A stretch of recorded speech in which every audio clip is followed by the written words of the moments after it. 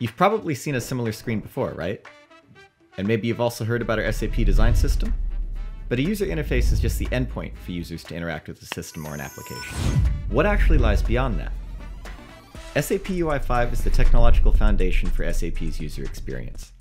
It's an HTML framework designed to easily build cross-platform, responsive, and enterprise-grade applications that run on smartphones, tablets, and desktop browsers. So why is SAP UI5 our leading UI technology?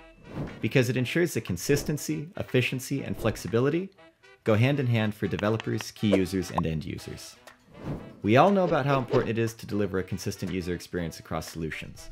And to make it happen, SAP UI5 offers hundreds of UI components, ranging from simple buttons to entire tables.